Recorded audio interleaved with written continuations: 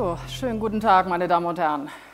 Ich freue mich, dass wir, äh, obwohl wir am Ende eines langen Kongresses sind, nun doch noch hier einige Aufmerksamkeit bekommen. Herzlich willkommen zum Content-Gipfel, zum Abschlussgipfel des Kongresses. Mein Name ist Astrid Frohloff, bin Fernsehjournalistin, moderiere in der ARD das Politikmagazin Kontraste. Ich freue mich, dass ich Sie hier gleich durch diese Diskussion begleiten kann. Aber noch sind wir nicht ganz so weit.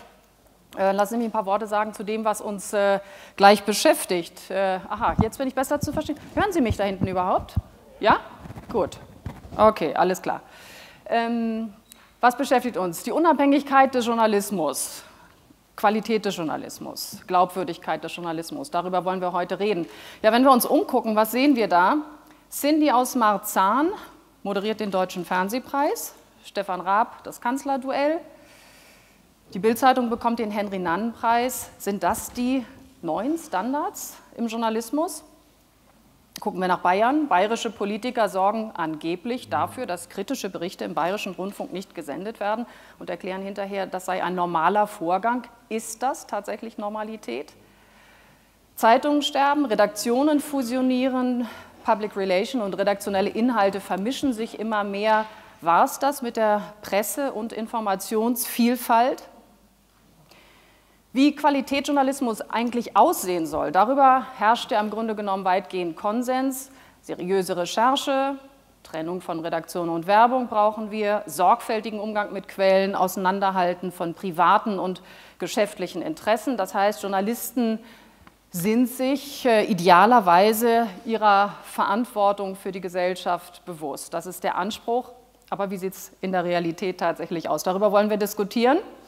Und äh, wir wollen starten mit einer Keynote, die gleich ein renommierter Journalist halten wird, der gerne über das Rudelverhalten im Journalismus spöttelt. Deshalb freue ich mich sehr auf seine sicherlich sehr pointierte und dezidierte Ausführung, die wir jetzt gleich erstmal hören werden. Und hinterher stelle ich Ihnen dann gerne das Podium vor. Herzlich willkommen.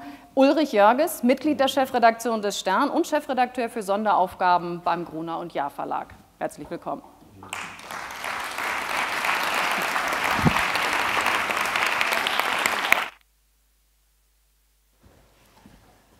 Liebe Frau Frohloff, verehrte Mitstreiterinnen und Mitstreiter, liebe tapfer Ausharrende an diesem Freitagnachmittag, Unabhängigkeit des Journalismus ist unser Thema.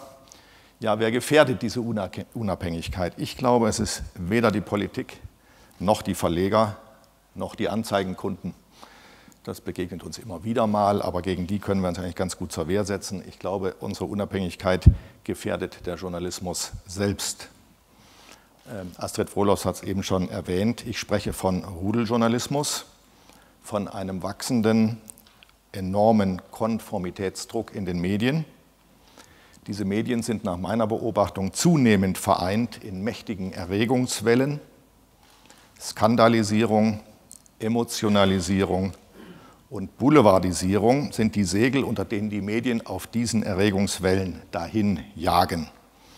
Drei exemplarische große Erregungswellen und drei exemplarische große Fälle von Rudeljournalismus haben wir alle in Erinnerung. Christian Wulff, Peer Steinbrück und jetzt auch Franz Peter Thebarts van Elst. Was bei Wulff der Bobbycar war, war bei Steinbrück der Pinot Grigio und beim Limburger Bischof die Badewanne. Das sind Symbole für eine gemeinsame, dann auch irgendwann besinnungslos werdende Jagd. Leitwölfe vorneweg, alle anderen hinterher. Das Ziel, auch so formuliert, ist zumeist der Rücktritt, der mediale Sieg über eine Figur. Nur diese Trophäe schafft Erlösung. Journalistische Redlichkeit, ethische Standards Aufklärungsauftrag bleiben dabei immer häufiger auf der Strecke.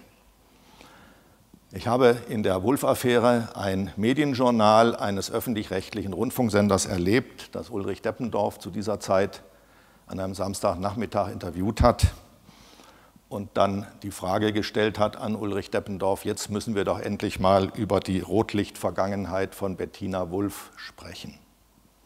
Das war öffentlich-rechtlicher Rufmord. Und Deppendorf hat sich zwei, dreimal gegen diese Frage zur Wehr gesetzt. Sie ist ihm dennoch nicht erspart geblieben. Derselbe Sender hat in diesen Tagen sehr lustig einen Gesichtsleser interviewt, um die Lügen des Limburger Bischofs zu entlarven. Einen Gesichtsleser, der in der Mimik, und da spielte der Blinzelfaktor eine ganz besonders große Rolle, der an dem Blinzelfaktor zu erkennen glaubte, wann der Bischof lügt. Aufklärung.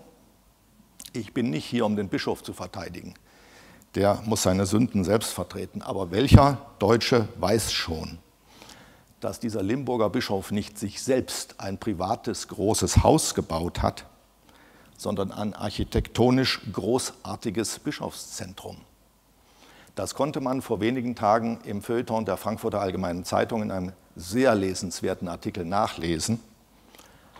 Es gibt also noch Qualitätsjournalismus, der differenziert und dies darstellt, aber welche anderen Medien haben das dargestellt, was dort entstanden ist? Die These, die der Autor der Frankfurter Allgemeinen Zeitung vertreten hat, lautete, dass wenn der Bischof schon lange nicht mehr unter uns sein wird, wird dieses architektonische Zentrum, dieses sakrale Gebäude von vielen Menschen besucht werden, weil es ein, eine Perle ist für ein Bischofszentrum. Was befeuert den Rudeljournalismus? Wo liegen die Ursachen? Ich erkenne zwei. Erstens die Auflösung der journalistisch-ideologischen Lager mit dem Ende des Kalten Krieges. Symbolisch dafür, ziemlich spät, aber immerhin symbolisch, die umkämpfte Berufung von Nikolaus Blome zum Leiter des Berliner Spiegelbüros und zum Mitglied der Chefredaktion des Spiegel. Den Rang, den er bei der Bildzeitung hatte, konnte er beim Spiegel nicht bekommen, aber er ist in die Spiegelredaktion eingetreten. Das wäre früher vollkommen undenkbar gewesen, aber schon Wulff haben Bild und Spiegel gemeinsam gejagt. Und als Bildredakteure den Henry-Nannen-Preis erhielten, schrieb Jakob Augstein, der von sich selbst sagt, er sei im Zweifel links, ich glaube, er ist immer links, schrieb Jakobs Augstein, bei Spiegel Online eine Kolumne unter der Überschrift Bild gehört dazu. Ich möchte die alten Lager nicht wiederhaben. Ich finde es richtig, dass sie sich aufgelöst haben. Gott Lob. Aber die Folge ist, dass wir weniger Meinungsstreit und weniger Meinungsvielfalt erleben. Früher in Zeiten der Lager, traurigerweise, konnte man sicher sein, dass jede Haltung im Journalismus Widerspruch fand, dass also jeder Pol einen Gegenpol hatte. Und diese Gegenpole gehen häufig heutzutage verloren. Heute herrscht ein ungeheurer Konformitätsdruck. Die zweite Ursache für diesen Rudeljournalismus, es gibt eine neue Hierarchie der Medien. Aus meiner Wahrnehmung sind die Online-Medien heute Meinungsführer. Die anderen folgen. Wer sich in Redaktionen bewegt, kann ja beobachten, dass Kolleginnen und Kollegen am Morgen noch Zeitungen lesen und dann den Rest des Tages am Laptop sitzen, am Computer sitzen und die Online-Medien lesen. Also da entsteht eine, ist eine journalistische Welt am Draht entstanden. Was Spiegel Online morgens aufmacht, einordnet und kommentiert, sieht man abends so eingeordnet in der Tagesschau. Online-Portale aber arbeiten mit einer wahnwitzigen Beschleunigung.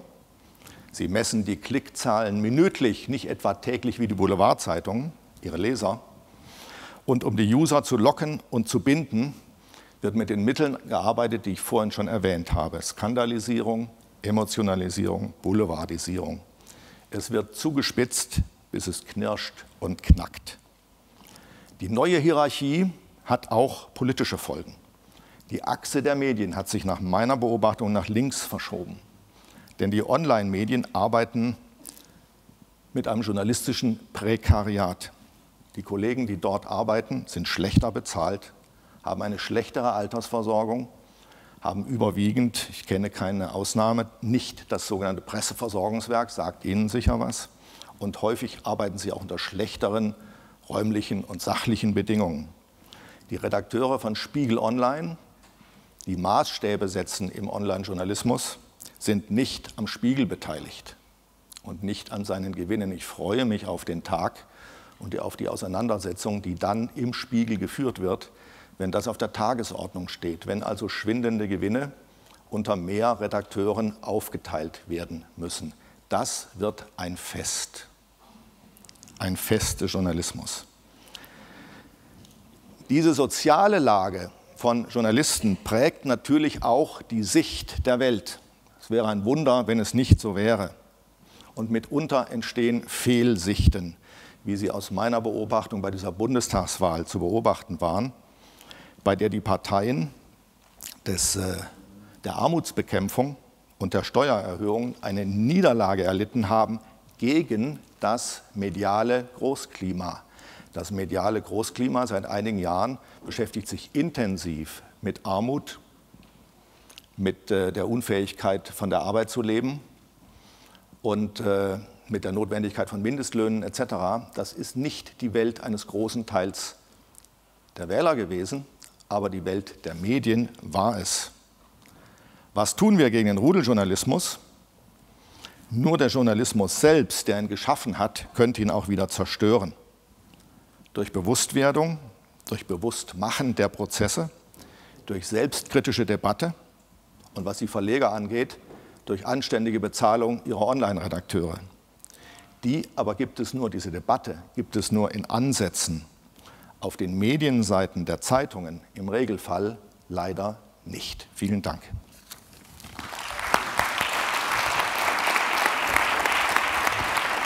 Wollen Sie gleich oben bleiben? Genau. Ja, genau. Vielen herzlichen Dank, Hans-Ulrich Jörges, für diese wirklich äh, tolle, pointierte Analyse, die uns eine ganz wunderbare Vorlage für die Diskussion gegeben hat. Viele, viele ganz interessante Punkte, die wir auch gleich nochmal ansprechen können und weiter diskutieren wollen. Ähm, und Herr Jörges bleibt oben, denn wir wollen das Podium auch gleich vervollständigen. Und ich darf die anderen Diskutanten bitten, gleich nach oben zu kommen. Ich darf sie einzeln gleich vorstellen. Michael Haller ist bei uns, Richard Gutjahr, Kai Gnifke, Frau Hinterleitner und Herr Pschira. Bitte kommen Sie erstmal nach oben und äh, Sie finden hier Ihre Plätze. Und Mikrofone haben wir schon. Genau, Herr Pschira, Sie sitzen hier. Herr Gnifke hier. Frau Hinterleitner. So, wie Sie sehen, meine Damen und Herren, ähm, ist das Podium ein bisschen anders besetzt, als es äh, ausgeschrieben war. Ähm, Herr Söder kann heute leider nicht kommen, dafür sind Sie freundlicherweise eingesprungen. Äh, Franz Josef Pschira aus dem Bayerischen Wirtschaftsministerium. Er ist Staatssekretär dort, gerade vor wenigen, zwei Wochen nicht, einer Woche? Letzten Donnerstag. Letzten Donnerstag geworden, gewechselt aus dem äh, Finanzministerium, wo er vorher Staatssekretär war. Interessanterweise ist Ihr Wirtschaftsministerium jetzt auch für Medien zuständig. Ich begrüße sehr herzlich Recherchepapst Professor Michael Haller, emeritiert heute wissenschaftlicher Direktor des Instituts für praktische Journalismus und Kommunikationsforschung in Leipzig. Ich begrüße Kai Gnifke, erster Chefredakteur ARD aktuell, mithin Herr über renommierte Nachrichtensendungen wie die Tagesschau, die Tagesthemen, aber auch ähm, Chef des Internetauftritts, äh, äh der, der, des, ähm, ja, des Internetsauftritts tagesschau.de und Tagesschau24 gehört auch zu Ihrem Ressort dazu. Genau. Richard Gutjahr ist äh, bei uns. Ähm, er ist ähm, auch eingesprungen für Jakob Augstein, der heute leider nicht kommen kann. Richard Gutjahr ist Ihnen äh, sicherlich auch bekannt äh, von der Bayerischen Rundschau, die er moderiert. Er ist äh, Journalist und Moderator und einer der bekanntesten Blogger, ähm, meinungsstark, äh, übrigens Online-Journalist des Jahres 2012, letztes Jahr, nicht? Ja? Ja, genau. Und äh, wir freuen uns sehr, dass äh, Gerlinde Hinterleitner bei uns ist aus Wien. Sie ist Verlagsleiterin von Der Standard AT, also dem Online-Portal vom Standard. Sie wurde zur Medienmanagerin des Jahres 2011 gekürt und erzählt uns ein bisschen über die Situation in Österreich. Ich freue mich sehr, dass Sie da sind. Ich will gleich die erste Frage an Sie stellen, Frau Hinterleitner, äh, nach dem, was wir jetzt skizziert bekommen haben von Herrn Jörges, ist das alles ein typisch deutsches Phänomen, dieses Rudelverhalten, oder erleben Sie Ähnliches?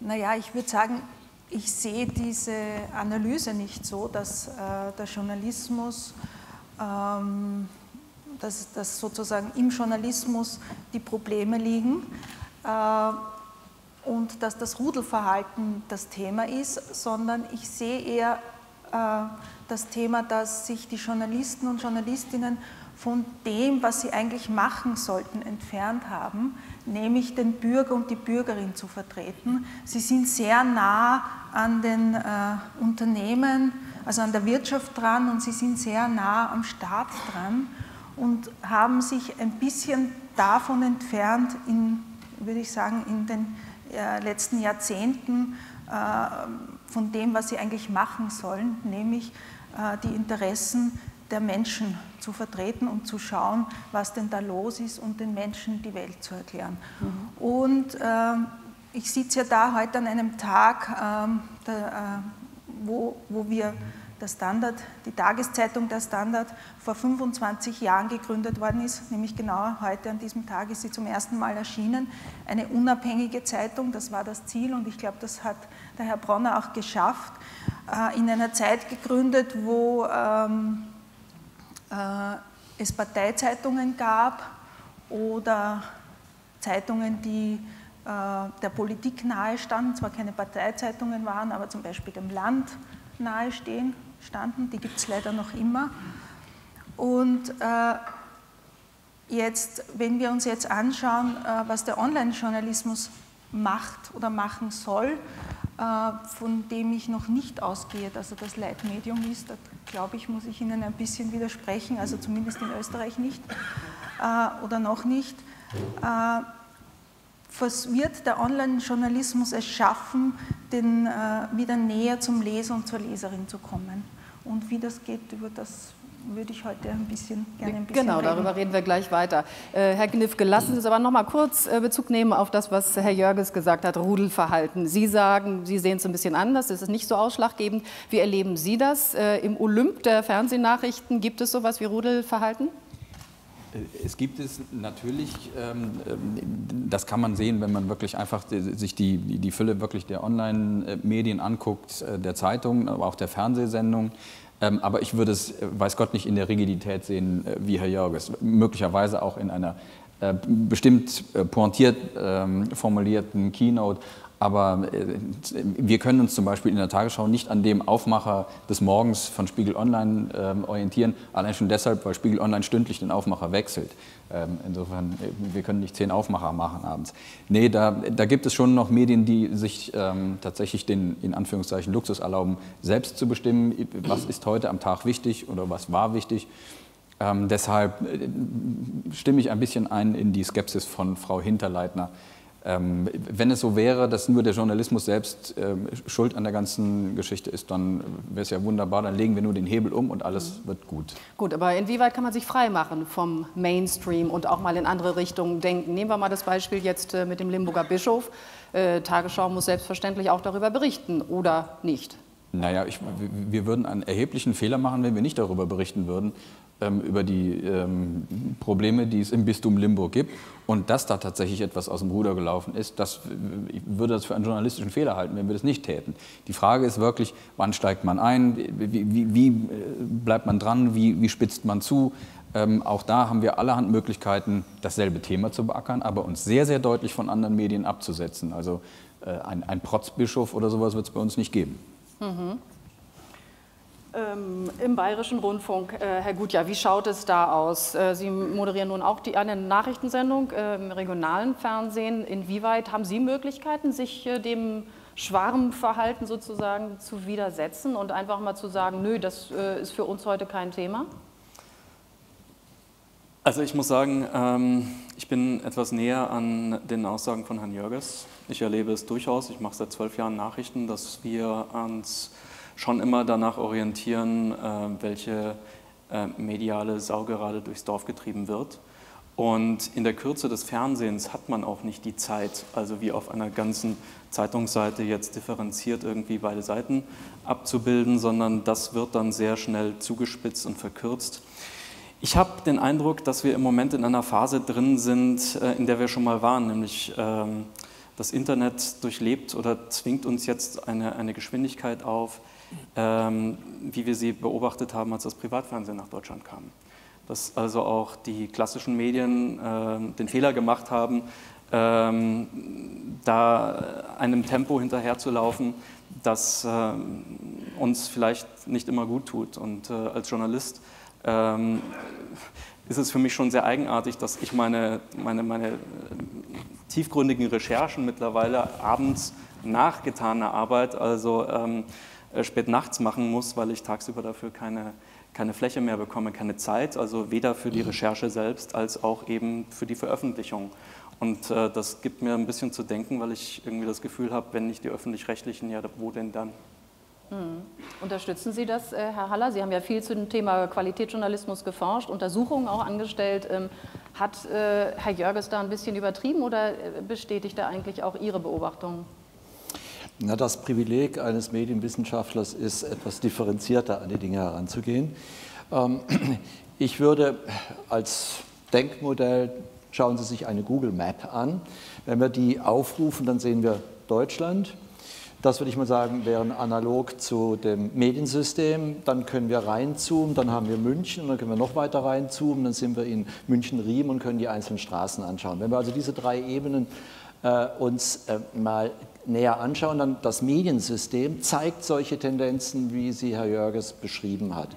Weil es da, wie soll ich sagen, Treiber gibt, die aus unserer Sicht stark medienökonomisch ähm, verursacht sind, die dazu führen, dass äh, die großen, ähm, auch stark institutionalisierten Mainstream-Medien ähm, äh, sozusagen immer mit der Wurst nach der Speckseite zu werfen glauben, weil sie Angst vor Reichweiteverlust haben, weil sie Angst davor haben, dass die Geltung ihres Mediums zurückginge. Aber wenn wir jetzt auf die sozusagen Mesoebene, also hm, Google Map auf München schauen, die einzelnen Mediengattungen, dann äh, sieht das Bild schon wieder etwas äh, differenzierter aus. Ähm, Herr Jörges hat ja auch in seiner Keynote ähm, äh, zu Recht auf einen Beitrag äh, der Frankfurter Allgemeinen hingewiesen. Da, sieht, da, sehen wir schon, da gibt es offensichtlich ganz unterschiedliche Sichtweisen und ganz unterschiedliche Stimmen, die sich nicht mehr mit diesem äh, generellen äh, Krisenbegriff ähm, etikettieren lassen. Da würde ich eher sagen, es ist zu beobachten auf dieser mittleren Ebene eine Art Verunsicherung. Der Journalismus und die Journalisten sind stark verunsichert zurzeit. Aus drei Gründen. Ich will das nicht weiter ausführen, sonst äh, laufe ich Gefahr, ein zweites Referat zu halten, was ich nicht will. Ich will das nur in drei Stichworten sagen. Die eine Verunsicherung ist der technisch getriebene Drive. Ähm, die Journalisten sind in handwerklicher Hinsicht in vielen Redaktionen immer latent überfordert zurzeit. Das schlägt durch auf das Know-how und führt eben dann zu diesen MeToo-Effekten.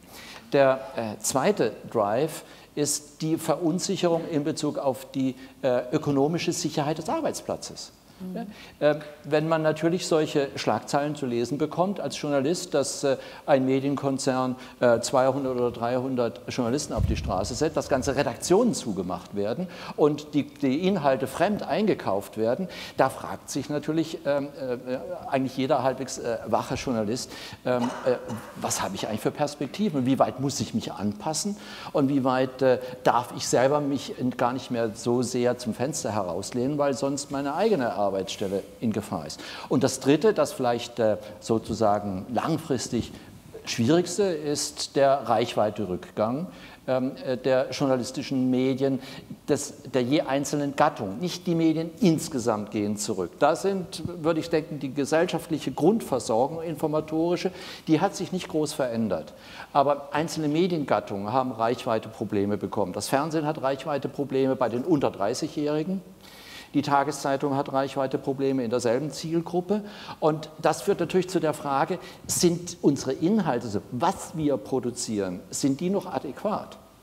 Und diese drei Verunsicherungen führen dazu, dass äh, sehr viele Journalisten äh, gar nicht mehr so richtig wissen, wie sie eigentlich hochprofessionell arbeiten sollten, obwohl in der Theorie, Sie hatten das ja sehr schön einleitend gesagt, wir in der Theorie uns eigentlich ziemlich sicher sind, was guten Journalismus ausmacht. Mhm. Herr Pschira, ähm, nehmen, gehen wir jetzt mal davon aus, es gibt die Tendenz zum Rudelverhalten, ganz generell gesprochen. Ähm, was heißt das für die Politik? Für die Politik ist das oder kann es einerseits ja sehr gefährlich werden. Denken wir an die Wolf-Affäre. Sie haben es ja erwähnt als Beispiel. Ähm, kann Rudelverhalten Politik auch andererseits nützen, weil sich die Medien so vielleicht leichter instrumentalisieren lassen? Ja, wir müssen immer die zwei Seiten der Medaille sehen. Wir diskutieren jetzt von der Ebene des Journalisten aus und ich als Politiker fühle mich ja manchmal in der Sandwich-Funktion zwischen dem Bürger und dem Journalisten. Und wenn ich den Bürger nehme, dann ist das die zweite Seite der Medaille. Ich gebe dem Herrn Jürgens recht, was dieses Rudelverhalten und die Erregungswellen angeht. Aber diese Erregungswellen treffen natürlich gesellschaftspolitisch gesehen auch durchaus auf einen Fundus oder einen Humus, auf eine Gesellschaft, die diese Erregungswellen und diesen Rudeljournalismus ja auch nachfragt, durchaus akzeptiert. Weil ansonsten würde er nicht gemacht, wenn er völlig ins Leere laufen würde, wird es nicht passieren. Das Zweite, was uns in der Politik schon ein Stück Sorge macht, äh, nur um mal ein Beispiel aus der Praxis ähm, zu belegen, damit wir uns hier nicht in eine Kuschelatmosphäre begeben. Wenn Sie heute als Politiker mit Medien zu tun haben, dann haben Sie mit einer sehr großen Bandbreite zu tun. Sie haben nach wie vor, Gott sei Dank, in diesem Land mit Journalisten zu tun, die sich eine Woche, zwei Wochen auch mal Zeit nehmen, an der Story zu recherchieren. Sie haben die zweite Kategorie, die auch Recherche macht, aber die Recherche bezieht sich auf das Abfragen von Netzinhalten. Sie haben die dritte Kategorie, das ist dann im Boulevardbereich. Da werden Sie als Politiker nur noch gefragt, damit die eigene Meinung, die man schon vorgefertigt hat als Journalist, durch ein Zitat noch untermauert werden kann. Und dann haben Sie viertens Anzeigenblätter, mit denen Sie konfrontiert werden, wo Sie Journalisten in Anführungszeichen begegnen, wo Sie das Gefühl haben, die haben das Fach Deutsch schon in der Grundstufe und in der Grundschule abgelegt. Das ist die Bandbreite, meine Damen und Herren, mit der wir heute als Politiker zu tun haben. Wir wünschen uns nicht Hofberichterstattung. Nach einigen Jahren in der Politik stellt man fest, dass Ihnen Hofberichterstattung in der Regel auf Dauer nicht nutzt, sondern sogar schadet, sondern dass der Bürger schnell durchschaut, dass das äh, kein seriöser Journalismus ist. Aber was wir schon brauchen, ist ein Stück Unabhängigkeit weiterhin. Und das Zweite. Was heißt ein Stück? Ein Stück Unabhängigkeit heißt, ich erwarte von keinem Journalisten, dass er werteneutral ist. Journalisten sind Menschen mit Überzeugungen, mit einer eigenen Biografie, mit politischen Überzeugungen und vielen anderen Dingen. Aber ich erwarte von einem Journalisten, was weltanschauliche Neutralität angeht, was Parteiferne angeht und was durchaus auch Staatsferne angeht, mehr als das, was ich derzeit bei vielen erlebe. Das bezeichne ich als ähm, Unabhängigkeit. Und was wir auch brauchen, wir engagieren uns als Freistaat und auch das Wirtschaftsministerium Ilse Eigner und ich haben uns zum Ziel gesetzt, auch einen aktiven Beitrag dort zu leisten, wo es um die Qualität geht. Selbstverständlich ist das auch Aufgabe der Branche. Aber auch wir sehen uns als Freistaat Bayern in der Verantwortung, was das Thema Aus- und Fort- und Weiterbildung angeht, hier einen aktiven Part zu spielen. Mhm. Ja, Sie äh, sind nun ähm, auch zuständig für Medien, sozusagen auch in wirtschaftlicher Hinsicht. Medien gehören mit zu Ihrem Ressort. Ähm, Sie haben ein bisschen schon umrissen. Wie sehen Sie die Aufgabe von Journalisten heutzutage in Bayern?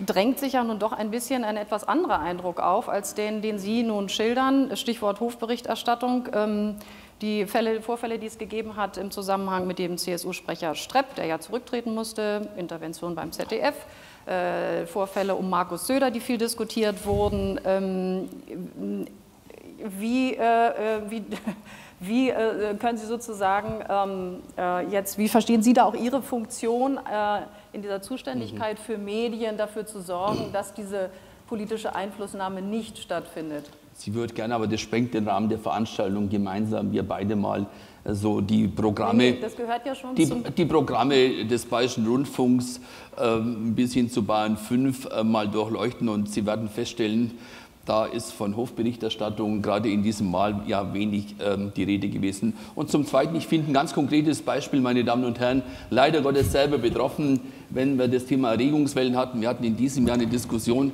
angebliche sogenannte Verwandtenaffäre äh, von Mitgliedern des Bayerischen Landtags, auch der Bayerischen Staatsregierung, da hatte ich nie das Gefühl, auch nur im leisesten Hofberichterstattung zu erleben, sondern da wurden sie wirklich auch hier wie die Sau durchs Dorf getrieben. Und da war es völlig egal, ob ihre Frau im Monat 600 oder 700 Euro verdient hat oder einen Werkvertrag hatte mit 5.500 oder ob Kinderbeschäftigung war. Da wurden alle über einen Kamm geschoren und zwar ganz kurz und ganz knapp geschoren.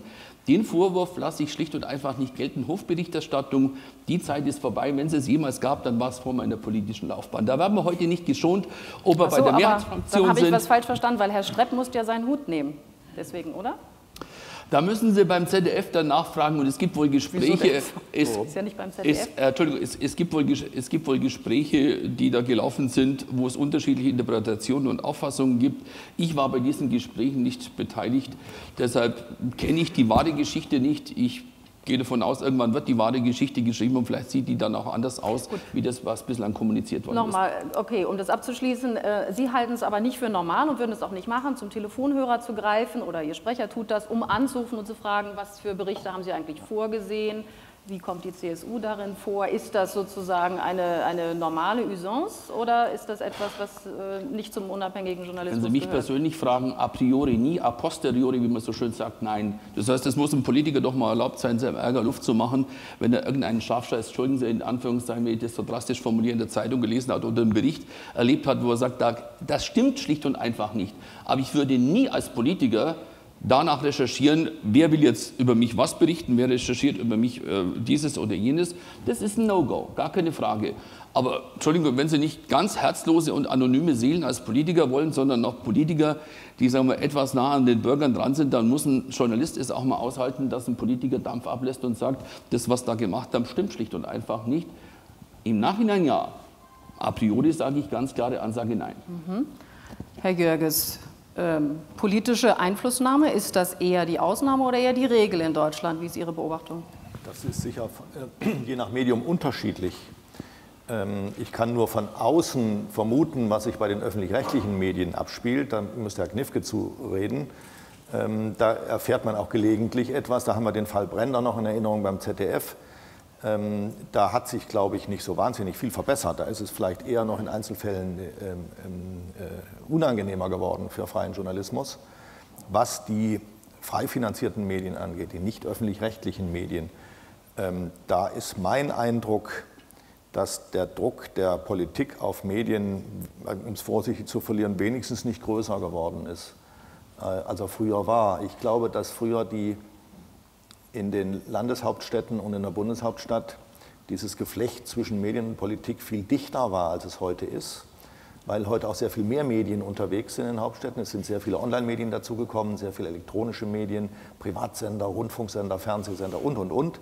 Das ist auch nicht mehr so richtig zu beherrschen alles. Insofern ist die Politik äh, zurückhaltender und die Möglichkeit von Journalisten, sich dagegen zur Wehr zu setzen, ist sehr viel besser, als sie früher war.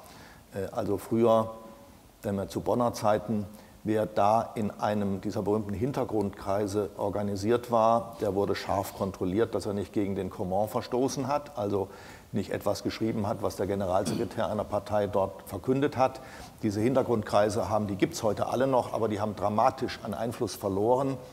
Journalisten kümmern sich schon sehr darum, dass sie ihre persönlichen Quellen haben, dass sie sich nicht mehr in Zirkeln organisieren, also in Zirkeln organisiert recherchieren. Und die Politiker, die dort auftreten, nach allem, was ich höre, ich war nie Mitglied in einem solchen Zirkel, man kann da wunderbar ohne die arbeiten, nach allem, was ich von Kollegen höre, die da drin sind und gelegentlich auch lese, äh, sind, funktionieren die Zirkel heute in Wahrheit wie Pressekonferenzen, die sind völlig sinnlos geworden. Ähm, gehen viele Journal Kollegen von Regionalzeitungen noch hin, die persönlich größere Probleme haben, einen Politiker selber, einen Spitzenpolitiker zu erwischen. Die schreiben sich dann dort Zitate auf, die sie irgendwann mal verwenden, aber die Zitate sind keine echten vertraulichen Zitate mehr, sondern eigentlich alles organisierte Pressekonferenzen. Also die Situation Freiheit gegenüber der Politik ist im Großen und Ganzen, würde ich sagen, besser geworden für den Journalismus. Also es gibt im Grunde genommen ein symbiotisches Verhältnis zwischen Politik und Medien. Darüber haben wir viel äh, diskutiert ja auch schon. Heribert Prantl hat es mal so schön äh, gesagt, das sei ein bisschen wie in der Natur, zum Beispiel zwischen dem Hai und dem Putzerfisch. Äh, Allerdings müsse man sich manchmal im Verhältnis Journalist und Politiker fragen, wer der Hai ist und wer der Putzerfisch Die ist. Putzerfische sind sehr viel seltener heute und die Haie sind heute Heringe. Also die ganz großen, die, die Politik ist, äh, wenn man das persönliche Format von Spitzenpolitikern betrachtet, nicht mehr vergleichbar mit dem Format von Spitzenpolitikern früher, grosso modo, mit Ausnahmen. Ja? Ähm, Und die Putzerfische sind nicht mehr so unterwegs und auf dem, auf dem Hering finden nicht mehr so viel Platz. Äh, Da ist auch nicht mehr so viel zu putzen. Also wenn Sie sich den Ton des Journalismus gegenüber der Politik heute betrachten, auch im Wahlkampf, der ist so respektlos, manchmal auch so herablassend geworden, das ist auch ein Symptom dafür, dass es diese Abhängigkeit von Journalisten, äh, wie es früher gab, äh, nicht mehr gibt. Das wäre früher zu Bonner Zeiten in dieser manchmal Gnadenlosigkeit, auch so einer ja, zynischen Herablassung, ähm, hat es früher nicht gegeben. Und tut vielleicht der Politik auch nicht gut. Aber ähm, Herr Knifke, jetzt nochmal die Reaktion darauf. Erleben Sie denn Politiker nun eher als Haie sozusagen oder als Heringe? Wie sieht es aus mit, mit der Einflussnahme? Und gibt es nicht sowas wie einen Kodex auch in der Redaktion, sich äh, zu widersetzen gegen solche Versuche? Also ich kann es jetzt mal für meine Redaktion sagen, da gibt es die gar nicht.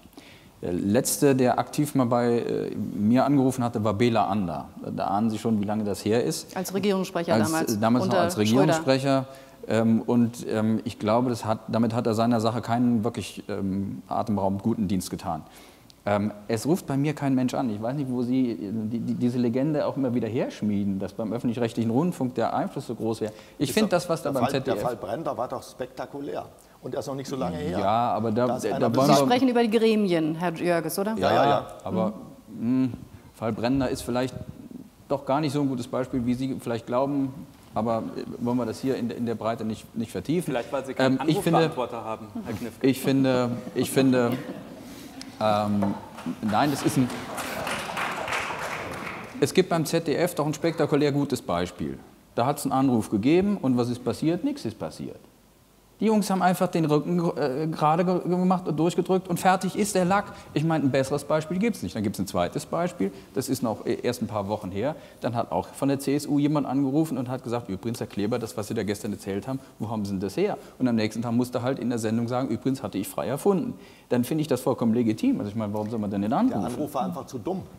Der war mitten in die Redaktion rein. Ja, aber und sieht man auch, dass nur noch Heringe unterwegs sind. Die Haie haben früher bei den Chefs angerufen. Ja, aber und der Chef ist dann hingegangen und hat natürlich von, nicht von dem Anruf erzählt, sondern hat gesagt, sollten wir nicht den Bericht ein bisschen differenzierter machen oder noch mal ein bisschen nacharbeiten. Wir bringen ihn morgen. Ja, so ist ja, das früher gelaufen. das war einfach zu dumm. So, ja, mitten in eine, einen unbekannten Ressort, äh, Redaktionsleiter anrufen und sagen, nehmen Sie mal den Bericht raus. Das, das, ist, doch, einfach das zu dämlich. Doch, das Tut ist mir leid. Ja? politische Einflussnahme, wie, wie, wie, wie, wir uns das irgendwie früher doch, vorgestellt genau haben. So. Ähm, aber so, so findet halt sie doch definitiv nicht statt. Das Problem ist doch viel eher, dass der eine Punkt von Herrn Haller, den ich teilen würde, und nur den einen von den dreien, dass wir es heute mit, mit Journalisten zu tun haben, die, die ausnahms- oder in, in, in großer Zahl in, in prekären Arbeitsverhältnissen sind. Die sind natürlich viel anfälliger für sowas. Nach dem Motto, na, ich weiß, der Chefredakteur kriegt jetzt Ärger, wenn ich das mache. Will ich, dass mein Chefredakteur Ärger kriegt? Also dann findet schon so ein bisschen so eine innere Zensur statt. Ähm, das ist etwas, was ich viel, viel problematischer sehe, was, die, was ein Einfallstor sein könnte, dass wir anfälliger insgesamt als Medienbranche ähm, für Einflussnahmen werden, wirtschaftlicher wie politischer Art. Aber, aber dieses Tumbe, ähm, ich rufe da an und bestell was oder bestell was ab, das gibt es definitiv nicht und bei uns schon ich gar nicht. Doch, wir sind unabhängiger geworden, teile ich also aus Meinung aus äh, sozusagen Beobachterperspektive, äh, glaube ich, reden wir jetzt gerade noch zu sehr quasi wie die gackernden Hühner auf dem Hühnerhof und wir sollten vielleicht den Blick des Habichts, ja, der den Hühnerhof beobachtet und schaut, sollten wir eher äh, ins Auge fassen. Und ähm, da denke ich, ist das Problem, äh, stellt sich jedenfalls aus der Beobachterperspektive ein bisschen anders dar. Ähm, die politischen Parteien haben erkannt, so scheint mir als Beobachter, dass das ähm, Vermitteln von politischen Inhalten, von programmatischen Fragen, die kontrovers sind, sich über die großen Bildschirmmedien nicht vermitteln lassen, sondern dass, und das ist die Lehre aus vergangenen, Jahr, äh, aus, aus vergangenen Wahlkämpfen, das personalisiert werden muss. Und diese Personalisierung verbunden mit entsprechenden Entertainisierungsdrives führen dazu, dass die Inhalte hinter den Personen verschwinden. Also die Inszenierung der Persönlichkeiten wird wichtiger als die Vermittlung der Inhalte. Das ist das Geschäft von politischen Parteien im Wahlkampf geworden. Das ist ja auch, wenn man so will, gut so, weil sie anders damit nicht umgehen können. Das Problem ist, dass die Medien dies mitspielen und dass sie hier nicht mit einem kritisch-analytischen Ansatz nach den Inhalten fragen und die Inhalte entsprechend diskutieren. Sie haben das in Ihrer Keynote ja ganz kurz angesprochen, was zum Beispiel die Armutsdebatte und diese Fragen betrifft. Es gibt also sehr viele, sehr kontroverse, sehr relevante, die gesellschaftspolitische Perspektive thematisierende Fragen. Die werden aber kaum noch aufgegriffen. Wenn wir dieses entertainisierende äh, Balla uns nochmal Revue passieren lassen durch drei, vier Monate permanent Talk, ja, also äh, äh, Schlangenkette und etc. Dann sieht man daran, dass äh, der äh, Journalismus, aber ich meine, Journalismus entgrenzt sich in diese Richtung von entertainisierenden Programmangeboten aller Talkshows, wo man ja nicht mehr genau weiß, ob das noch unter Journalismus läuft, wahrscheinlich nicht, äh, dass hier also Formen sich ähm, ja, verstärken, immer weiter verstärken, die im Effekt eine Entpolitisierung bedeuten, auch des Bewusstseins der Leute. Und das ist aus meiner Sicht das viel entscheidendere Problem, als jetzt ja, der gackerte so und dann rief er nicht an. Äh, bei der Frage, was heißt eigentlich Unabhängigkeit? Ja, Unabhängigkeit bedeutet doch, hier eine Position beziehen zu können, der die politischen Prozesse in der Gesellschaft beobachtend, beschreibend, analysierend, berichtend, reportierend und so weiter vermittelt, um so die Bürger in die Lage zu versetzen, zu verstehen, was Sache ist. Also die Selbstreferenz, ja, die die Gesellschaft braucht, ja, als eine Selbstaufklärung. Das ist die Aufgabe von Journalismus, gesellschaftliche Selbstaufklärung. Mhm. Und das ist das Gegenteil von Aufklärung. Ja, und springen wir zu schnell auf auf Inszenierung, auf Äußerlichkeiten, ja. Herr Gutjahr? Beobachten Sie doch. Also ich war in diesem Sommer etwas entsetzt und fast auch sprachlos, auch meiner eigenen Zunft, auch meiner eigenen Rolle in diesem ganzen Spiel gegenüber, ähm, als ich gesehen habe, dass wir also von der Jagd auf Edward Snowden ähm, eins zu eins auf die Jagd auf, auf, auf Schnappi, die Schildkröte, irgendwie übergesprungen sind, anstatt uns mal hinzusetzen und mal wirklich aufzuarbeiten, was, was da sehr abstrakt im Raum steht, nämlich die größte Überwachungsmaschinerie, die äh, dieser, dieser Globus jemals gesehen hat und ein komplettes Versagen der, der Journalisten, das so zu übersetzen, dass, die, dass, dass das Publikum Zugegeben, es ist Graubrot, es ist schwer zu fassen, aber gerade da müssen wir uns doch umso mehr anstrengen. Und dieser Killerinstinkt, den wir doch eigentlich ursprünglich mal alle hatten, den habe ich einfach nicht festgestellt. Und jetzt wird also über Autobahnmaut und über irgendwelche anderen Scheindebatten gesprochen und, und, und solche wichtigen äh, gesellschaftlichen Debatten äh, fallen hinten runter. Ich muss ganz ehrlich sagen, ich bin etwas fassungslos, ähm, weil ich habe Gott sei Dank auch noch andere Freunde als nur Journalisten. Und, und aus so meinem Freundeskreis äh, nehme ich wahr, dass so das härteste Politmagazin, was wir zurzeit im deutschen Fernsehen haben, die Heute-Show ist. Und das macht mir ein bisschen Angst. Mhm. ähm. Ja, Herr Jörges. Also, Herr Jörges, ich muss noch kurz zu sagen, ich halte das für völlig richtig, was Sie sagen, Herr Gutjahr. Was, wo ich einen also wir haben ja schon breit berichtet über NSA und wir werden es auch weiter tun. Also ich werde ganz sicher, wenn die Koalitionsvereinbarung steht, schauen, was steht da zu dem Thema drin. Und dann werden wir, glaube ich, alle wieder anfangen zu berichten über die Frage, tun die jetzt was oder tun die nichts. Ganz wichtig. Ich hätte einen Aufschrei erwartet in dem Moment, wo der Guardian durchsucht worden ist von Geheimdienstleuten. Aber die, da war es doch totenstill ja, in exakt, Medien in Deutschland. Exakt. Das ist doch nicht wahr. Da, da, ist da, wo, es ist doch bei Gott nicht da, wahr. Ich kann Ihnen auch die Sendeabläufe zeigen.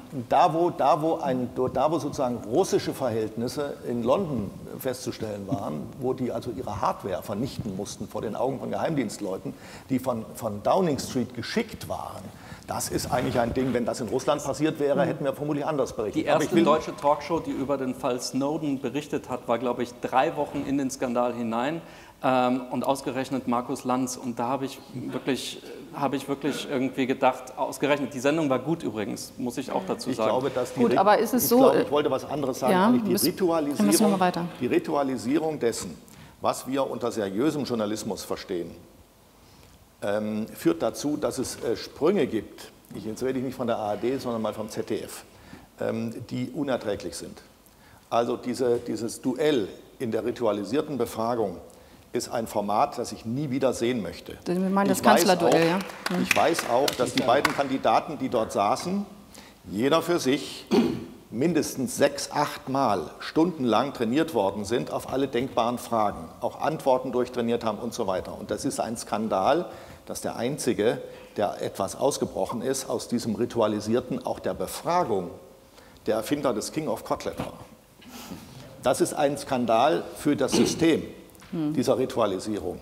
Und äh, um das ZDF zu erwähnen, ich bin richtig erschrocken, als eine wirklich die sehr geschätzte Kollegin Marietta Slomka an einer Unterhaltungsschau teilgenommen hat zum Wahlkampf, in der die Politiker auf beleuchtete Felder springen mussten und Fragen beantworten mussten, beispielsweise, wie lange stehen durchschnittlich Kunden von einem, eines Supermarkts in Portugal an der Kasse an?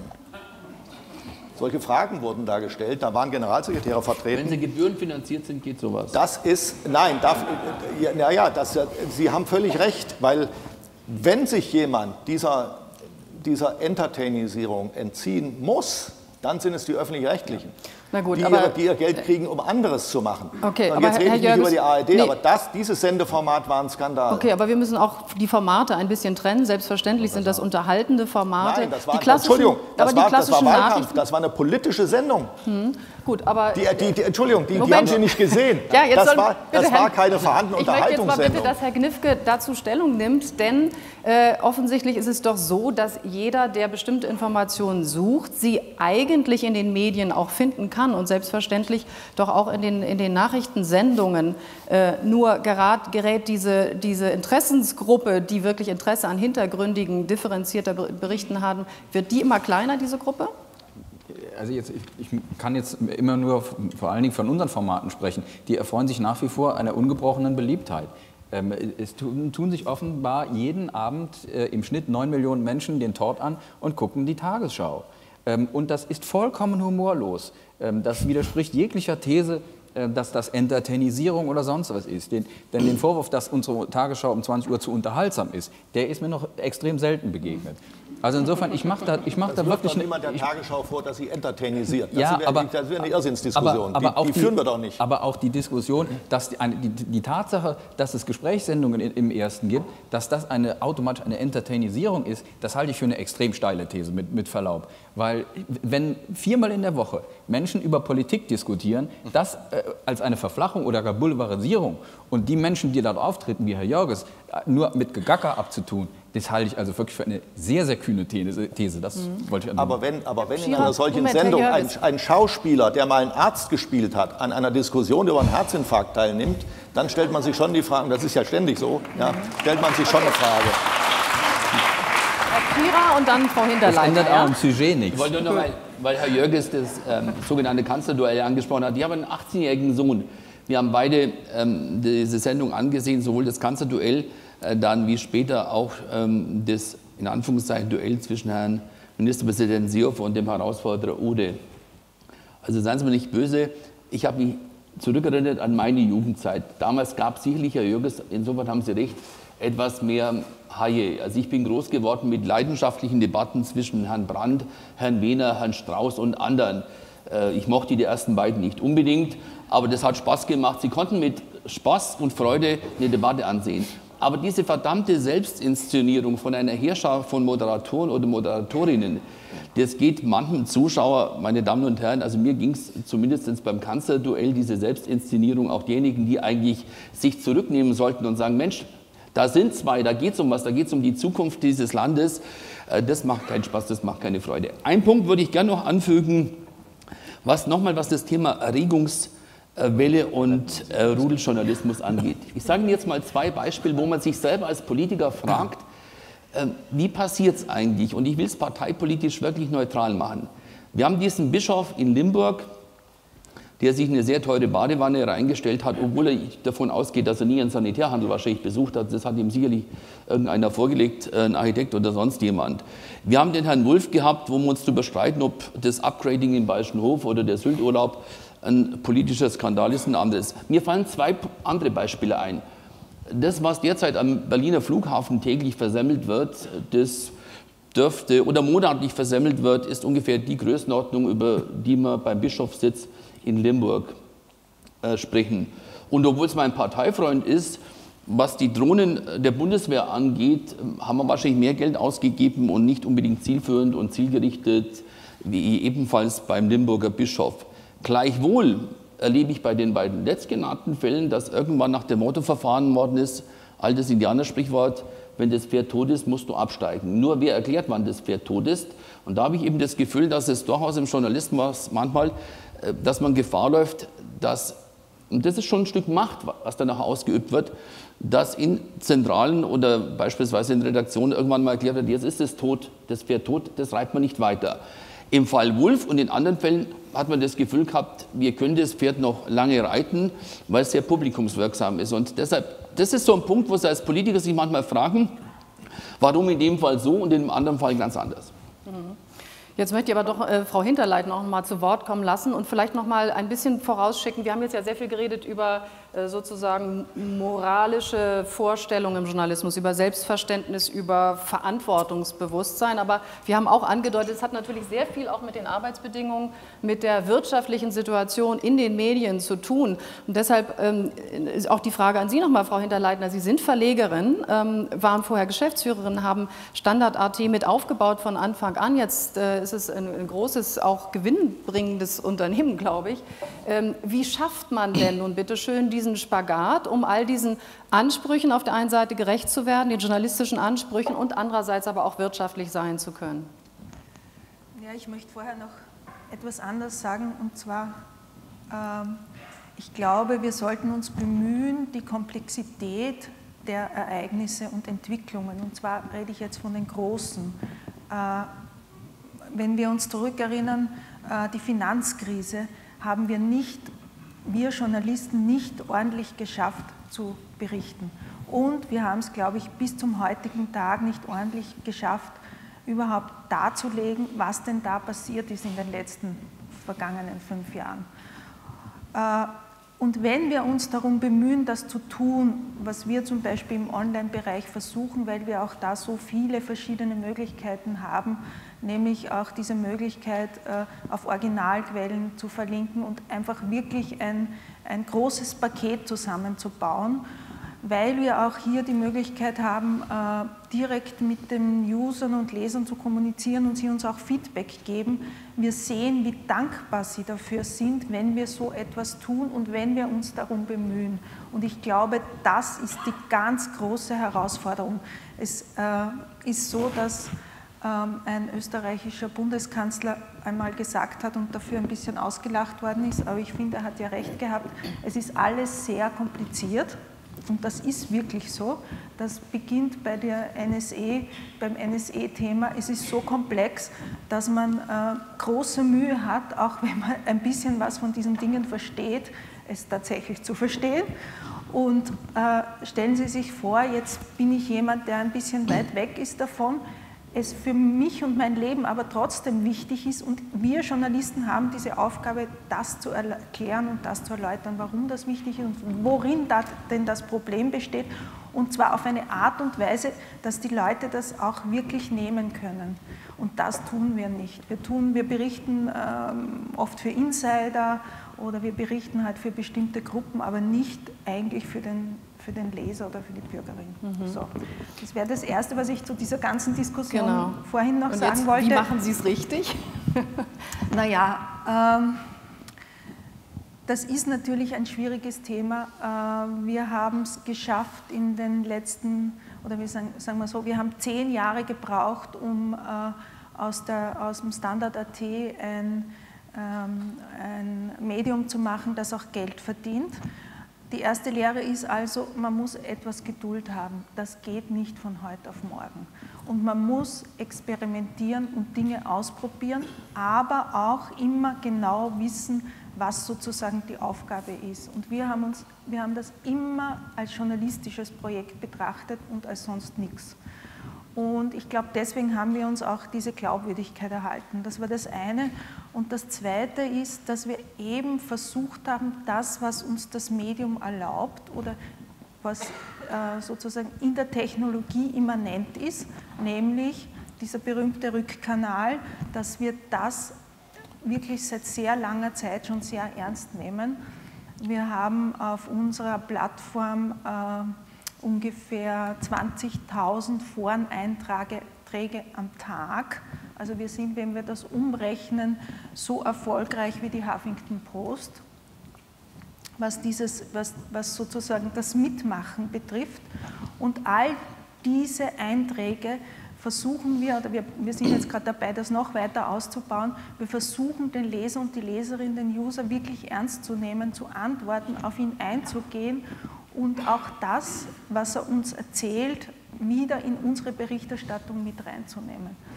Und dadurch haben wir es geschafft, sozusagen uns einen Platz in, diesen, in dieser Aufmerksamkeits, ähm, weiß ich nicht, äh, es ist ja, es gibt so viele Möglichkeiten, an Nachrichten zu kommen und wir wollen aber es schaffen, dass dass äh, die Leser und User bei uns eine Heimat finden, ein, ein Zuhause finden, wo sie, wo sie auch wissen, mit welcher Haltung wir an diese ähm, äh, Nachrichten herangehen. Und dann ist es nicht so schwer, damit Geld zu verdienen wenn man mhm. diese Aufmerksamkeit mhm. hat. Ich würde gern äh, weiter nach vorne schauen und in diese Richtung diskutieren. Will Ihnen nur gerne schon sagen, Sie haben auch die Möglichkeit, noch Fragen zu stellen oder Anmerkungen zu machen. Äh, vielleicht reden wir noch ein, zwei Runden hier auf dem Podium und dann können Sie auch gerne Fragen stellen. Ähm, ich würde gerne noch mal reden über, über neue Initiativen, die, ähm, die sozusagen sehr sehr kreativ und sehr produktiv nach vorne schauen und die versuchen, Wege zu finden, wie man unabhängigen, guten Journalismus retten kann. Ähm, Herr Haller, ein Weg ist äh, der Weg, Qualität überhaupt zu bewerten, zu bemessen und auch äh, sozusagen äh, Standards in der journalistischen Ausbildung zu finden und zu entwickeln. Sie sind ähm, mitbeteiligt daran, ein Gütesiegel zu entwickeln. Mediencampus Bayern vergibt seit 2012 ein Qualitätssiegel für Medieneinrichtungen die Journalisten ausbilden. Äh, und das ist ziemlich streng, glaube ich. Nur wer die Note gut erreicht, erhält auch die Urkunde. Ähm, Richtig. Was genau wird bewertet und glauben Sie, dass es wirklich sozusagen zur Qualität in der Ausbildung beiträgt? Also ich glaube, dass die äh, Journalistenausbildung derzeit aus den und weiteren Gründen, die hier schon angesprochen wurden, ähm, unzureichend ist. Und zwar nicht in einem quantitativen Sinne, sondern in einem qualitativen Sinne, weil in der Journalistenausbildung, die in Deutschland tradiert ist über das Bild Volontariat, die Volontäre ja nur das lernen können, was die Redaktionen können. Und wenn die Offline-Redaktionen selber schon Schwierigkeiten haben, diesen Übergang in eine crossmediale Welt hinzubringen, dann können sie es ja auch nicht den Volontären vermitteln. Das ist so mal ein Problem. Ja, gut, ja, nickt schon, ja. Mhm. Also mit anderen Worten, wir denken sehr darüber nach, wie man das äh, Volontariatsmodell eben weiterentwickeln kann. Es war eine großartige Leistung in den 80er Jahren, dass wir das überhaupt erreicht hatten. Ja, also diese Art von Professionalisierung der Ausbildung, die gab es ja vorher gar nicht. Also äh, das muss man auch äh, berücksichtigen. Und das ist ja auch noch nicht so schrecklich lange her. Ähm, aber es reicht nicht mehr. Das war gut in den 90er Jahren, also die, die Verstetigung des Volontariatsmodells, aber es reicht nicht mehr. Das heißt also, die überbetrieblichen Anteile an der Volontariatsausbildung gewinnen an Bedeutung, um auf diesem Wege, etwa über die entsprechenden Einrichtungen wie äh, die Akademie der Bayerischen Presse, also ein Beispiel, und so gibt es eine ganze Reihe weiterer, hier ähm, das zusätzlich äh, zu entwickeln, was in den Redaktionen nicht vermittelt werden kann, weil es die Redaktion selber nicht kann, weil die Redakteure überfordert sind schlicht. Das ist ein Grund. Der zweite Grund ist, dass, wir haben das vorhin kurz schon angesprochen, in vielen Redaktionen äh, durch Personalabbau die Arbeitsverhältnisse, ich denke jetzt in erster Linie an die Welt der Zeitungen und Zeitschriften, äh, hier ähm, die Volontäre quasi missbraucht werden äh, als Ersatz für ähm, redaktionelle Leistungen, die zu erbringen. Also die sind ähm, sozusagen überfordert. Es wird ihnen auch darum nichts beigebracht. Sie werden quasi ins Wasser geworfen und gesagt, ja, mach das. Und dann ist so ein Pseudo-Learning by Doing, findet dann statt, das völlig unzureichend ist. Also das mhm. beginnt mit ganz einfachen handwerklichen Fragen, die mhm. nicht mehr beigebracht werden. Und hier müssen wir, also jetzt gerade in der Printwelt, müssen wir schon ähm, darüber nachdenken, wie wir einen journalistischen Nachwuchs so ausbilden können, dass er diese Aufgaben, die wir mit äh, Qualität meinen, auch einmal handwerklich beherrscht. Ja? Mal ganz abgesehen von den Arbeitsbedingungen dann in der Redaktion mhm. selber. Ja? Mhm. Aber dass er es überhaupt mal handwerklich kann. Mhm. Das ist gar nicht mehr so sicher, wie es vielleicht noch vor 20 Jahren der Fall war und solche Standards dann auch zertifizieren, sozusagen, ja. damit es nach außen sichtbar wird und Vorbildcharakter hat. Äh, Herr Bschira, Sie haben sich eben zu Wort gemeldet, aber trotzdem noch mal weiter gedacht. Es gibt äh, auch äh, zunehmend Forderungen äh, von Leuten, die sagen, eigentlich muss dieser Beruf des Journalisten ein geschützter Beruf sein. Man müsse wie zum Beispiel bei Medizinern oder Juristen eine äh, sozusagen verpflichtende Ausbildung erstmal durchlaufen, bevor man den Titel Journalist tragen darf. Ist da nicht was dran? Wenn Sie in die Historie gehen, galt dieser Beruf ja immer als in Anführungszeichen sogenannter Begabungsberuf, wo der Zugang aus vielen Sparten kam, was dem Journalismus meiner Meinung nach ähm, in den Anfangsjahren sehr gut getan hat, weil er auch Vielfalt in dieses Berufsbild hereingebracht hat. Von geschützten Beruf halte ich wenig, aber was in Zukunft an Bedeutung gewinnen wird. Ich glaube, wir sind es den jungen Menschen schuldig, die in diese Laufbahn gehen wollen, dass wir keine Ausbildungseinbahnstraßen machen. Diese mediale Welt ist vielfältig geworden und wir sollten diesen jungen Menschen die Möglichkeit geben, sich in dieser wandelnden Berufswelt immer wieder zurechtzufinden, vielleicht auch neu zu orientieren. Insofern wird es das große Problem sein, künftig, was die Ausbildung angeht, das richtige Maß zwischen Breite und Tiefe zu finden. Eine fundierte, breite journalistische Grundausbildung, aber dann vielleicht auch die Möglichkeit der Spezialisierung. Und insofern gibt es vielleicht ein Modell, das man aus der gewerblich-technischen Wirtschaft sogar übernehmen kann.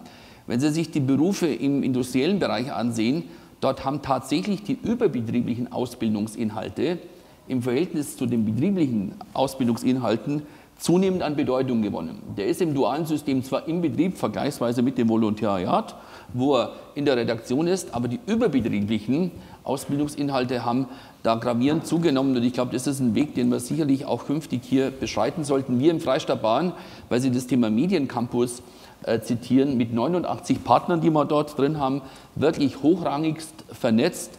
Äh, das wird ein Punkt sein, den wir künftig auch noch stärker unter Ilse Eigner äh, was das Thema Medienministerium angeht, gewichten wollen, unseren aktiven Beitrag dazu leisten für eine qualifizierte Ausbildung, aber eben so eine qualifizierte Fort- und Weiterbildung. Mhm.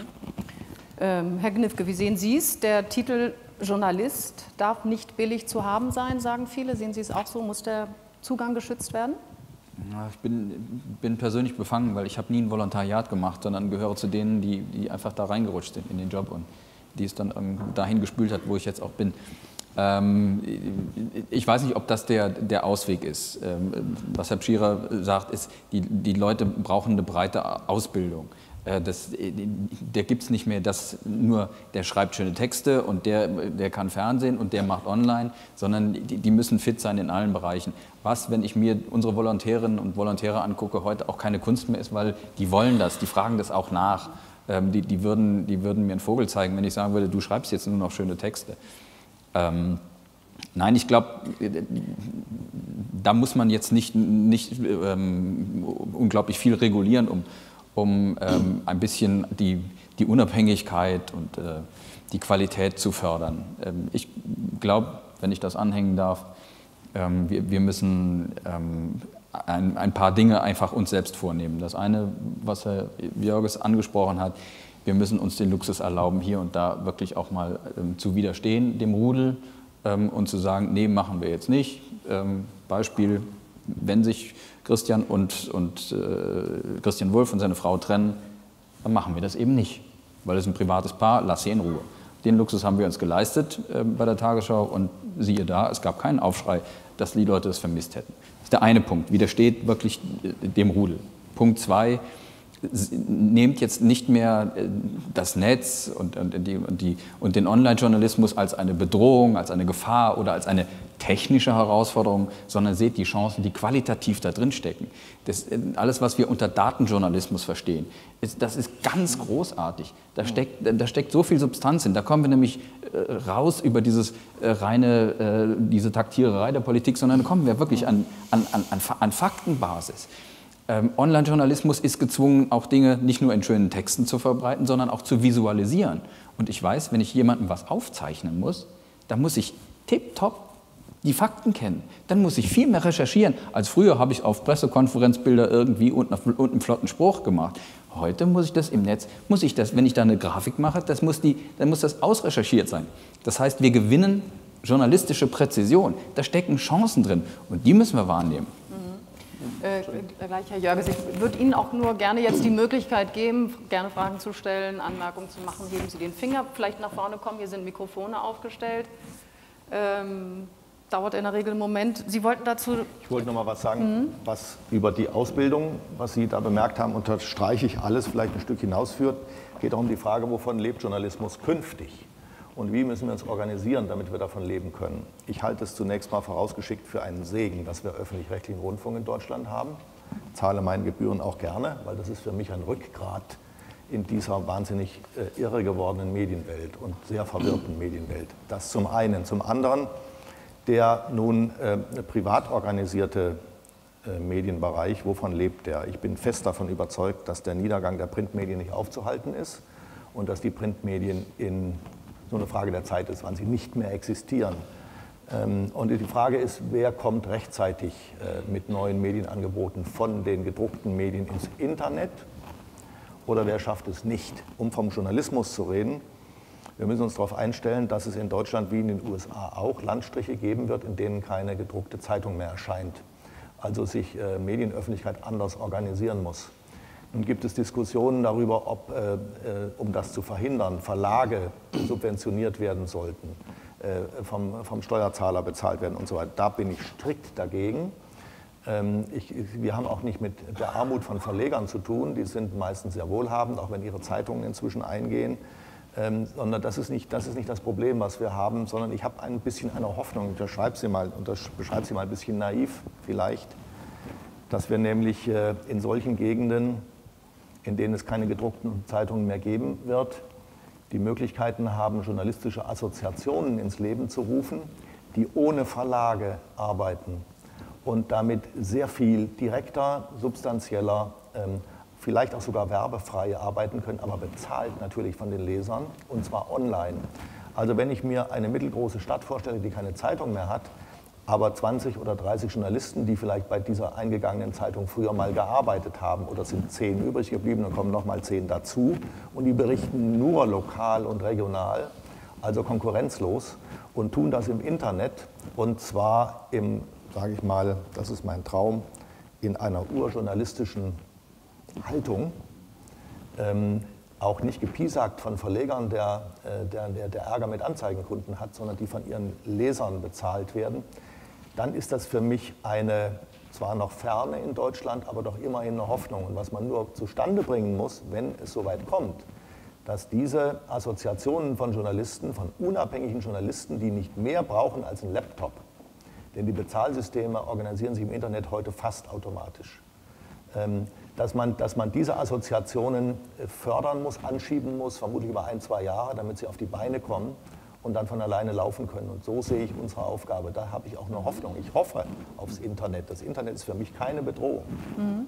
Ich hätte nur zwei Anmerkungen, Herr Jürgens. Äh, es gab in dieser Woche schon eine Panel-Diskussion hier, wo diese Frage auch kam, gibt es künftig noch Printmedien? Ich wiederhole mich jetzt. Ich bin überzeugt, es gibt sie. Ich habe das mit einem Zitat untermauert ist ein ehemaliger Zeitschriftenverleger, Verbandspräsident so schön formuliert hat, solange man mit dem iPad noch keine Fliege totschlagen kann, ist er überzeugt davon, dass es Zeitungen geben wird. Ich persönlich merke in meinem das eigenen. Haben übrigens, Entschuldigung, früher die Kutschenbesitzer auch gesagt, als das Auto erfunden ja, wurde. Ja, also die Menschen werden immer Kutsche fahren, weil sie Pferde lieben. Nein, ja, das, das, mag jeder einen anderen Medienkonsum haben. Ich merke, dass ich beide Seiten nutze. Ich versuche mich online zu informieren, muss das während des Tages tun, genieße aber tatsächlich in der Früh auch immer noch eine Vielzahl von äh, gedrucktem Papier zu lesen. Eine Anmerkung, äh, Knifke, zu Ihnen, was die Qualität im Journalismus angeht. Ich erzähle Ihnen jetzt mal eine ganz kleine Geschichte von meiner früheren Tätigkeit als IT-Beauftragter der Staatsregierung.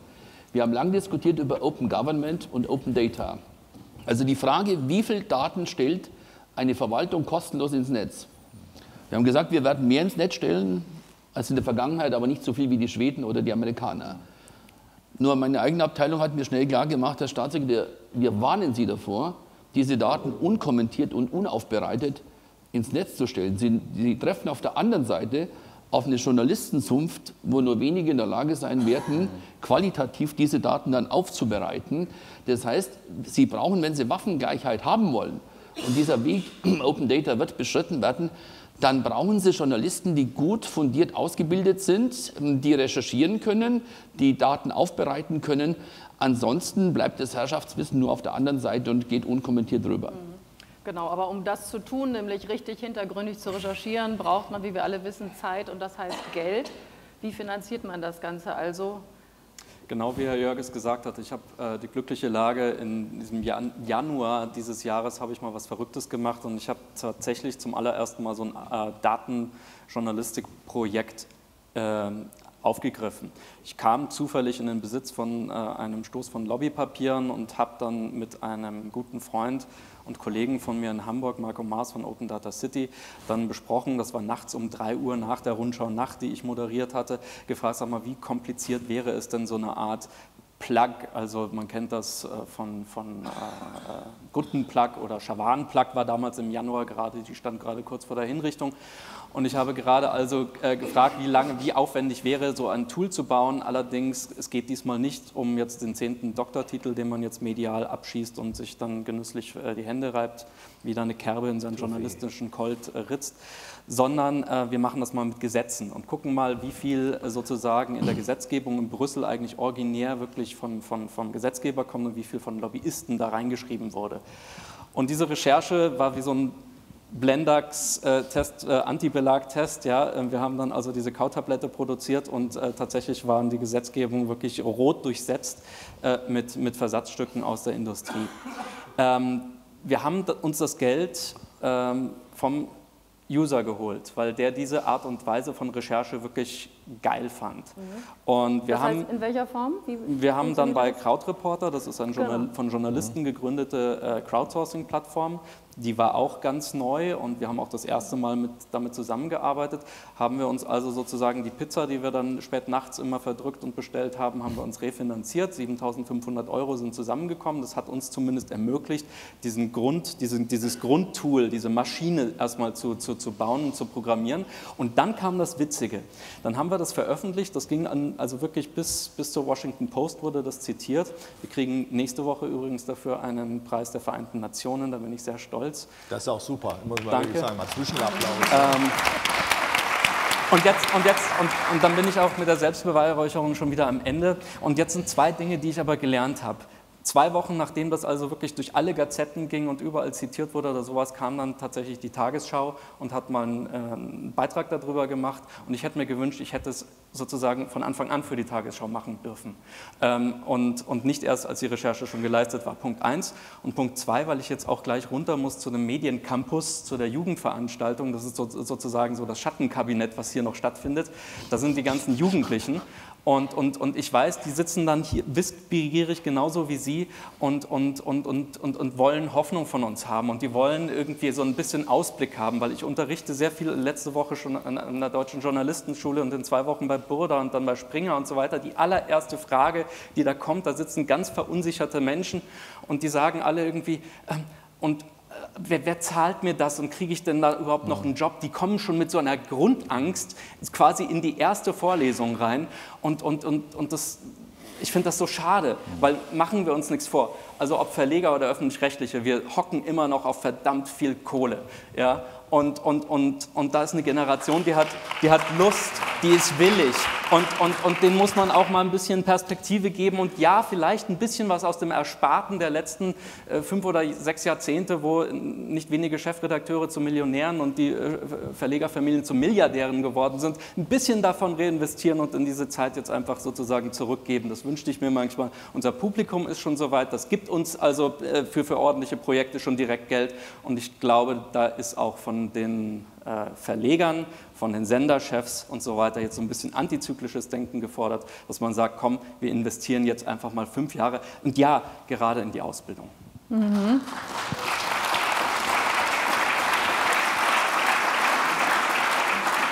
Frau Hinterleitner, die Verlegerin hier auf dem Podium.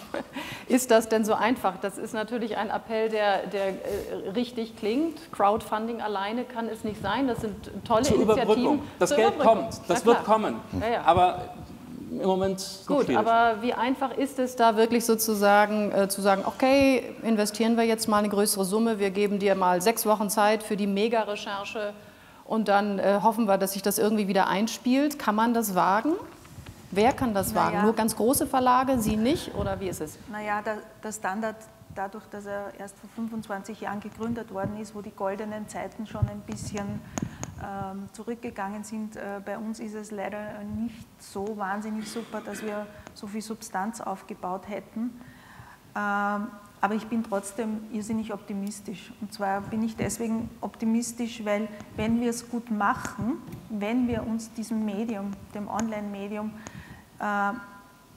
in unserer ganzen, wie soll ich sagen, in seiner ganzen Vielfalt widmen und in den ganzen Möglichkeiten, die es gibt und dem offen gegenüberstehen und das wirklich auch äh, experimentieren damit, uns, uns nicht davor fürchten, dass irgendwas schief geht, dann werden wir es auch schaffen, ähm, das so profitabel zu bringen, dass wir dann auch wieder mehr Leute engagieren können. Und wenn man jetzt den Standard AT anschaut, wir hatten vor zehn Jahren, würde ich sagen, ungefähr weiß ich nicht, zwölf Mitarbeiter oder Mitarbeiterinnen und sind innerhalb von zehn Jahren auf 130, 140 äh, Mitarbeiter und Mitarbeiterinnen gewachsen.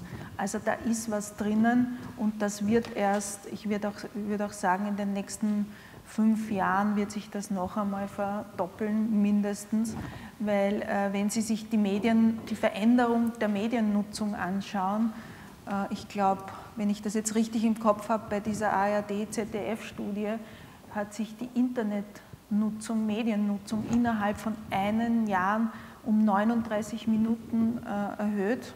Also von, weiß ich nicht, 130 Minuten auf 100, fast 70 Minuten oder so am Tag.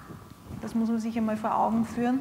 Also der, die Gesamt, also die, die Mediennutzung ändert sich so dramatisch und äh, damit werden auch zum Beispiel die Werbegelder äh, auch auf die Smartphones kommen. Das ist eine ganz große Herausforderung. Wie wird man es schaffen, quasi auf den, auf den Smartphones Geld zu verdienen mit Werbung? Schwierig, aber es wird funktionieren. Wir müssen da nur experimentieren und wir müssen Geduld haben ein bisschen. Mhm.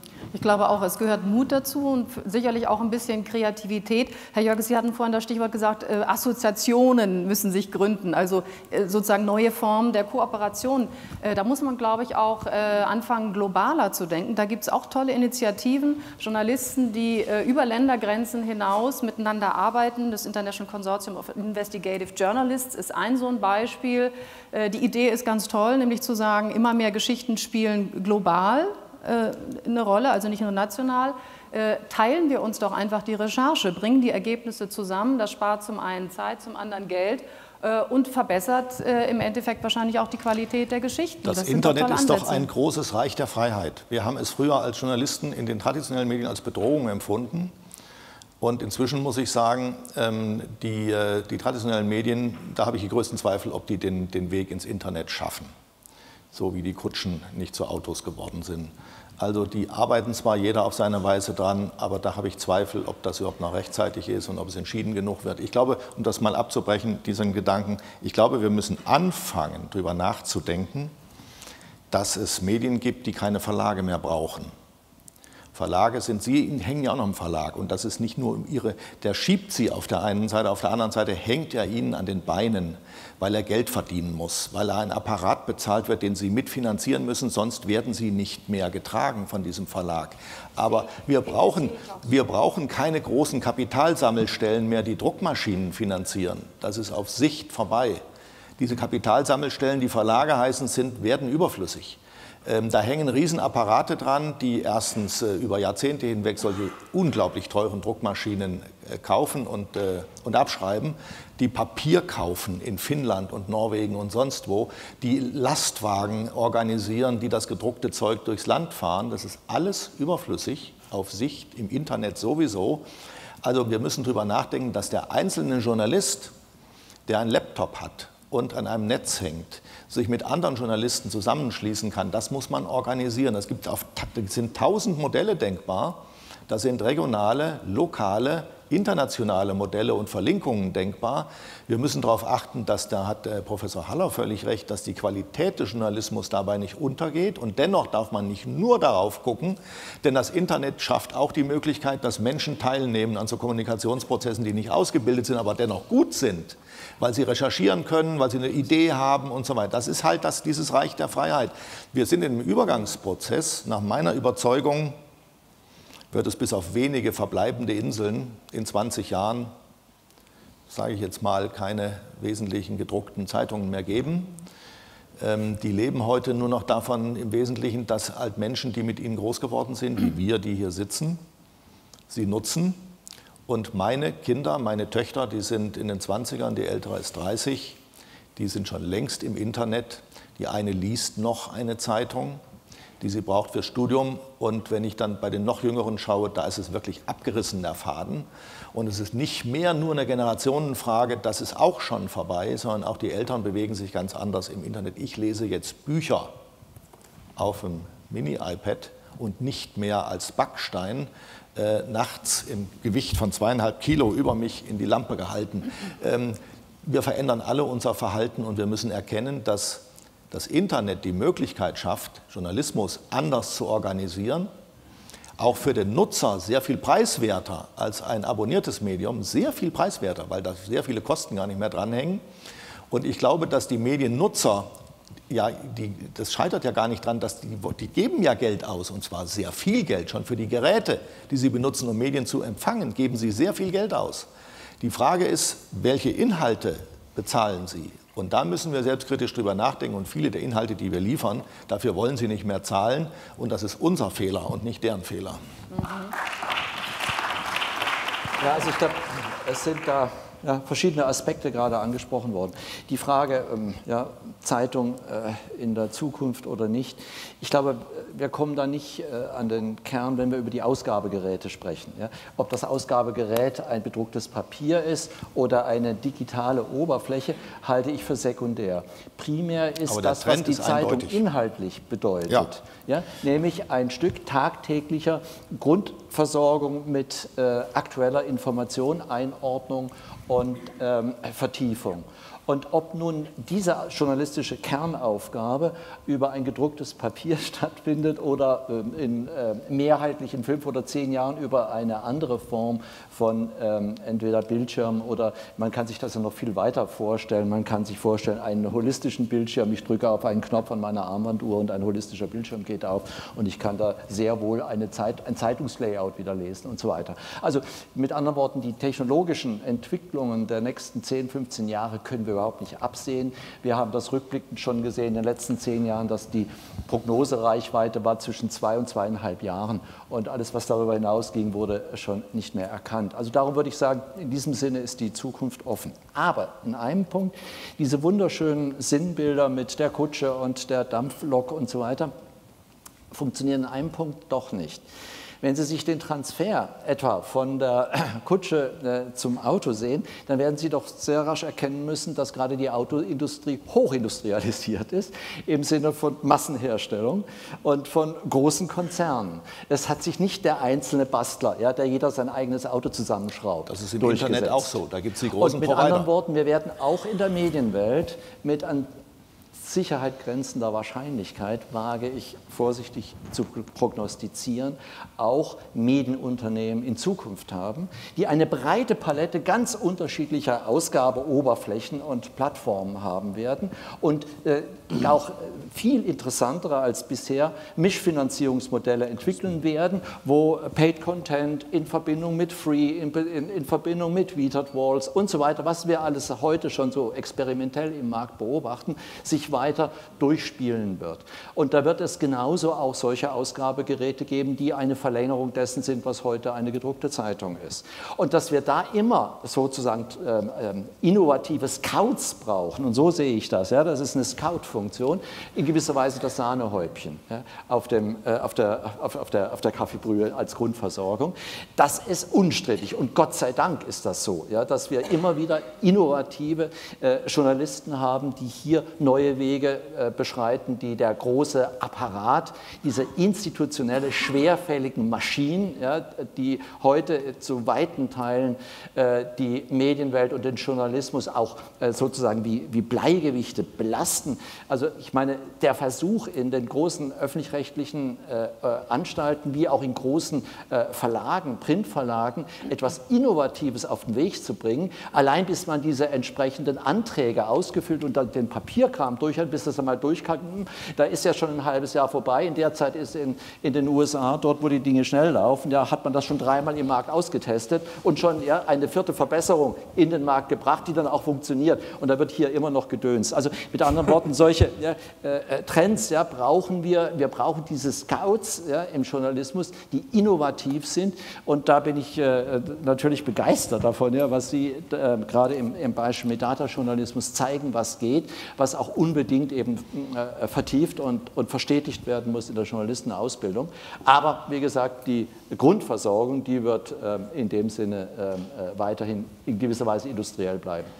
Mit Blick auf die Uhr würde ich vorschlagen, dass wir eine letzte kurze Schlussrunde machen. Wir haben angefangen äh, mit sehr selbstkritischen äh, Beobachtungen und Einschätzungen, haben geredet über Einflussnahme und anderes. Äh, greifen wir das nochmal auf. Ähm, Herr Jörges, frisch inspiriert von dieser tollen Runde heute, gehen wir in die nächste Arbeitswoche. Was nehmen Sie sich ganz fest vor, um, äh, sagen wir mal, unserer Selbstverpflichtung zur journalistischen Unabhängigkeit nachzukommen? Was tragen Sie rein in Ihre Sternredaktion?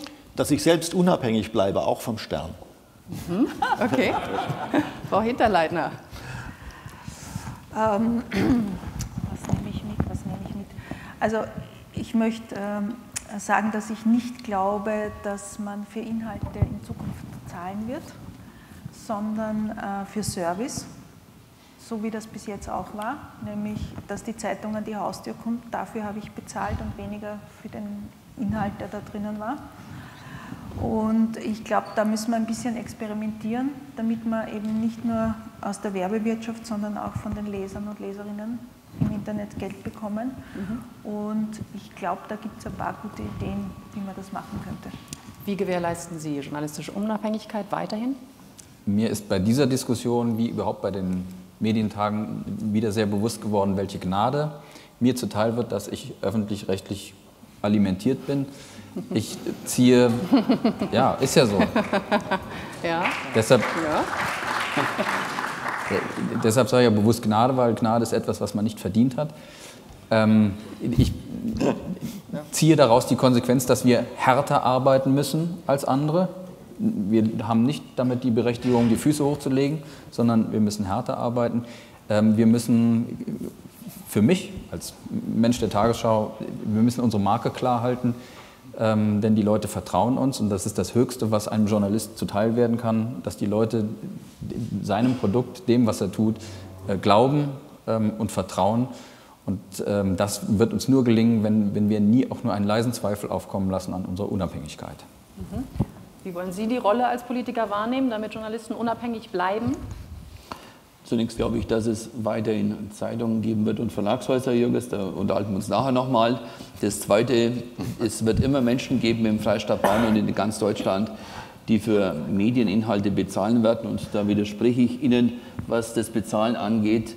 Äh, entweder bezahlt der Bürger mit Geld oder bezahlt mit seinen Daten. Das müssen wir den Menschen auch nochmal klar machen, dass am Schluss in dieser Gesellschaft, in dieser medialen Welt nichts umsonst ist. Und der dritte Punkt, wir werden uns ganz gezielt die Aufgabe vornehmen, was das Thema angeht, unseren Beitrag zu leisten, was Qualitätsjournalismus in der Ausfahrt- und Weiterbildung angeht. Wir haben einen starken Mediencampus.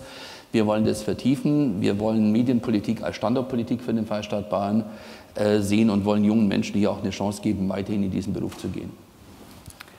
Herr Haller, Sie sind in der Ausbildung nun auch tätig. Ist das auch Ihr Anspruch?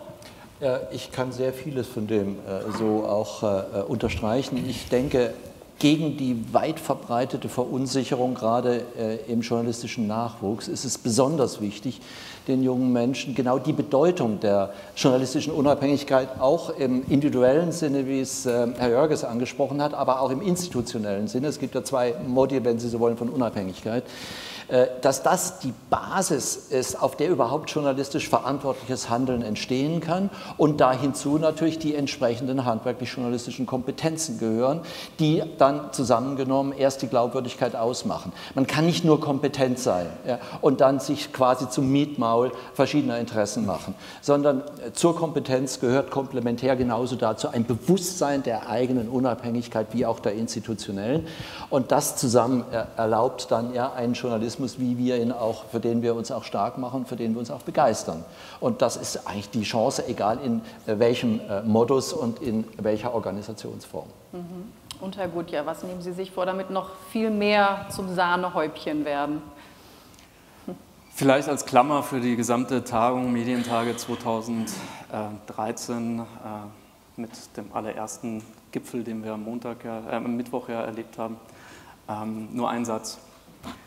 Ich glaube, die Jugend ist nicht das Problem. Okay.